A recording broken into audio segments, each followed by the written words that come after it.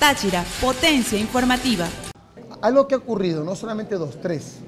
Nosotros detectamos a un, a un jefe de división de un nivel medio del IDT y fuimos a la fiscalía y, fuimos, y notificamos a la Contraloría, incluso ya está en procesos judiciales, ya han ido varios directores a declarar porque nosotros no vamos a permitir que aquí exista ninguna corrupción. También ocurrió algo bien curioso en la Dirección de Educación.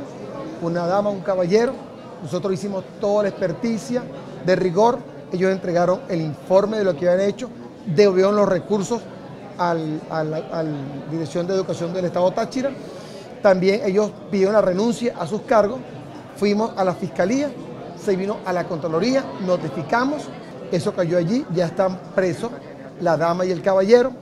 Eh, también hablé algo de eso sobre el tema de la corrupción, al final pagan los hijos. Si la gente entiende que el tema de corrupción paga los hijos, paga el apellido, creo que se disminuye mucho el tema de corrupción, además que me gustó mucho cuando la doctora Omaira de León habló de la familia. O sea, el tema de la familia hay que verlo para que sea como un elemento de freno para la corrupción. Y el tercer elemento es que nosotros estamos, por supuesto, evaluando cualquier contingencia y nosotros también estamos manejando como un elemento ¿no? De prevención, no solamente con detenciones, sino que la Contraloría ha ido a darnos clases. Nosotros hemos dado cualquier cantidad de cursos gratuitos a los directores, ha ido a la Fiscalía y vamos a seguir trabajando muy bien, porque el tema no es sancionar, el tema es educar. El asunto no es tener a alguien tras las rejas, el asunto es que nadie esté tras la reja.